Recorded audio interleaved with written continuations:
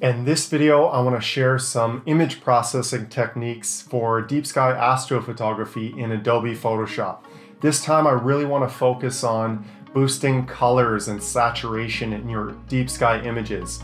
If you're anything like me, you've been shooting a lot of galaxies lately, so all of the images examples in this video are galaxies, and I'm going to show you some really cool ways to really pull out that color without disrupting other things in your image. So let's hop into Photoshop and I'll show you what I mean. Here's a really good one for adding some saturation, some selective bright color to your image.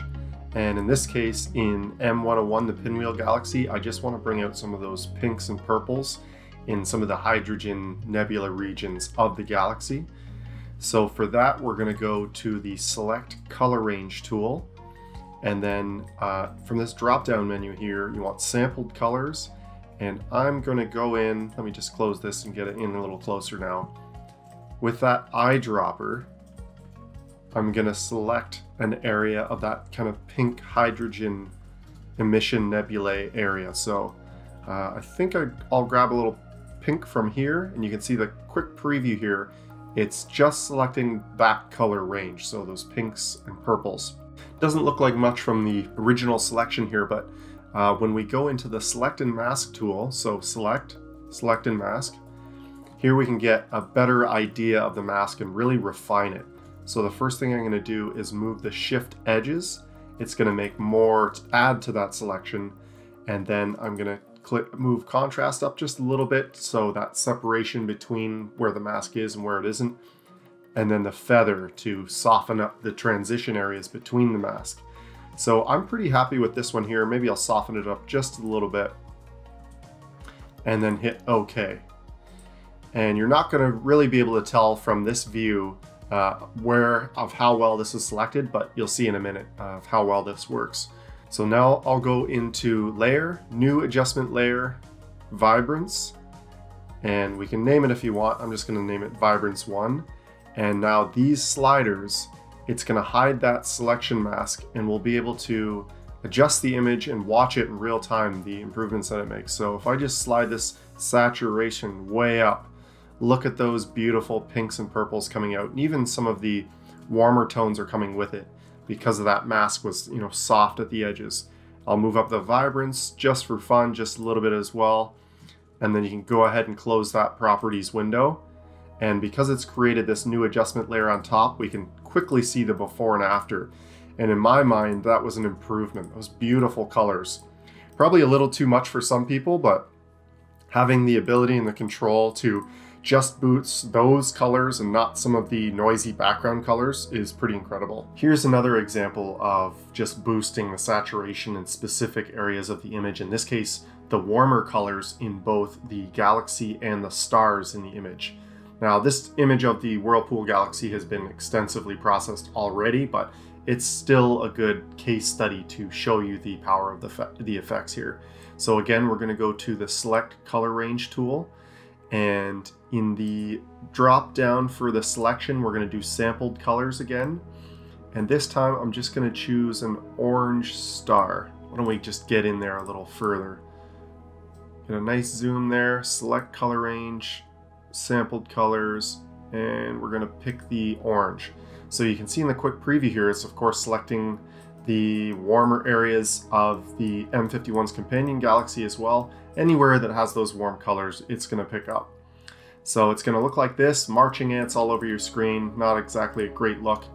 So we'll go into the select, select and mask tool, which is definitely my favorite feature of Photoshop overall. With the shift edges, we're gonna just bump that out a little bit. I'm gonna just play with the sliders here and you can really manipulate your selection to, uh, to ensure you're selecting what you wanna select. Uh, the feather slider is probably the most important one here because you don't want those hard edges between your selection. And right now I'm holding down the space bar to, to grab this little hand to kind of pan around the image. I do want to select those stars.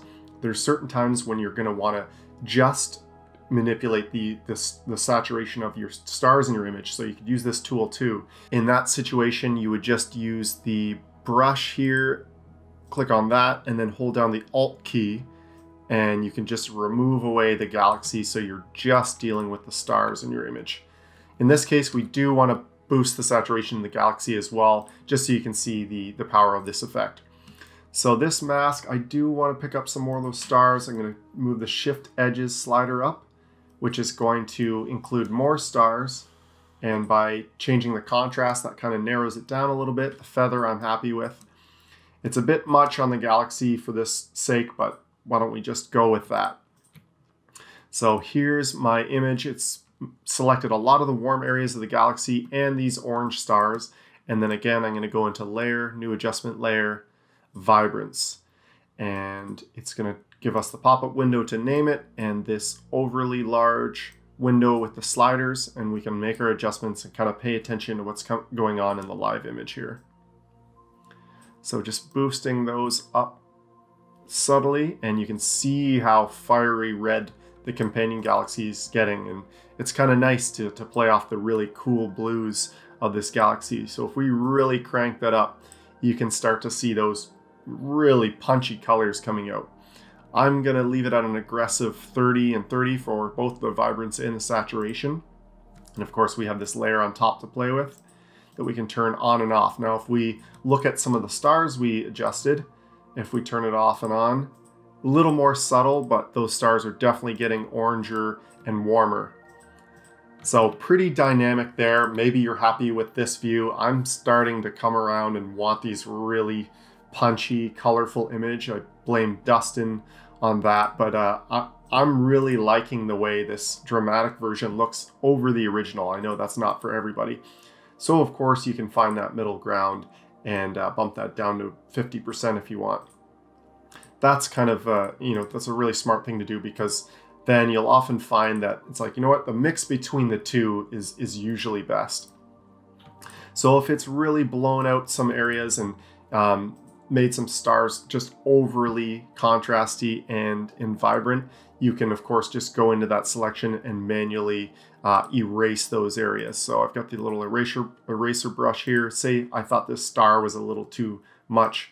I can just click erase that star from my selection and then it's left from the original image and only the other areas are being manipulated. Okay, this one is really cool. This is something I kind of came up with recently and it's been super effective. Uh, I've had to come up with these creative ways to adjust my workflow based on galaxies with a sea of darkness surrounding them. In these images, there's a big open areas of dark black space and depending on how bright your monitor is, you could probably see some of that color mottling and discoloration in the background sky around the M82 Galaxy here. And so I, I've found this way to be really effective and I think you should try this for yourself if you're kind of find yourself in this situation. So again, we're going to go with our trusty color range tool. Uh, and this time, just, select the highlights. So we're just going to create a mask around the, the data in this image, the signal that we've collected, but not that background space. So just kind of a rough selection to start with using the fuzziness and range sliders. Again, we're going to go into the select and mask tool and refine that. And as you can see, the dark areas are what are not selected, the white are what are, and using the shift edges slider, which is kind of hidden behind my picture here, but um, you should see it there in the select and mask. That one just kind of refines your selection. And then most importantly, especially in this case, is the feather because you do not want uh, a hard edge between your selection and the background sky, um, especially in this case. You would really notice it. So I'm pretty happy with that and a pretty strong feather. So I'll show you what I mean in a minute. So if we control C or I guess command C on a Mac, copy our selection and paste it on top, and I just turn off this layer underneath, you can really see um, how feathered that edge is. And you might want to even do it more so than that, but that's kind of a good mix where we've made our selection with, without having that hard edge between uh, everything else.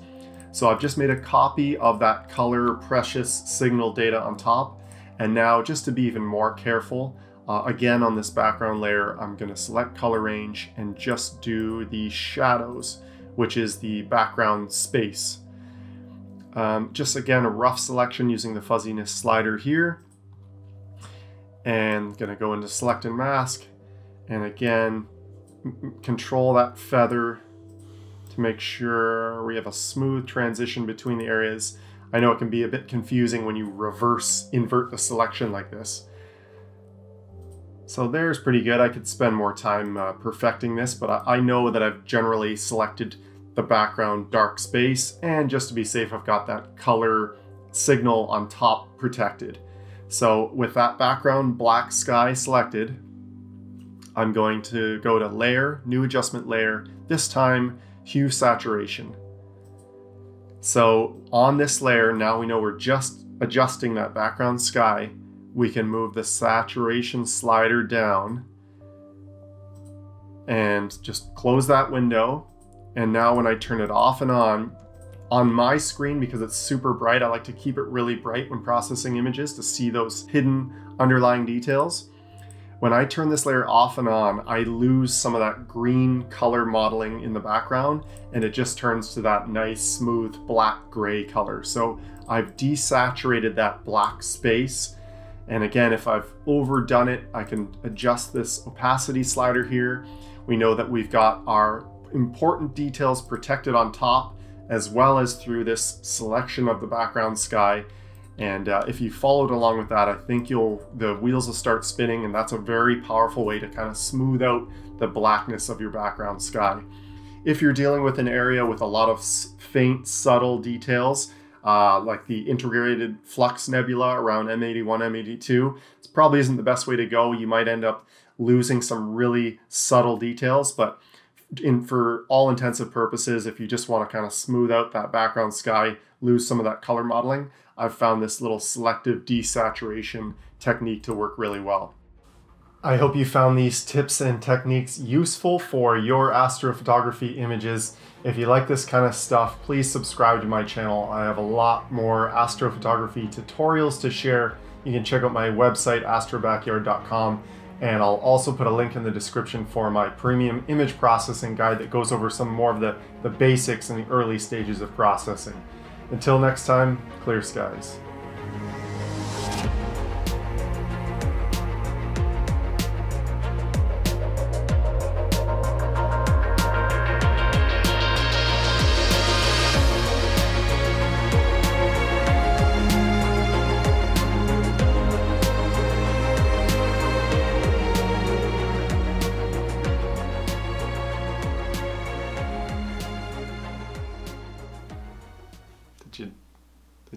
Notice? Did you notice it?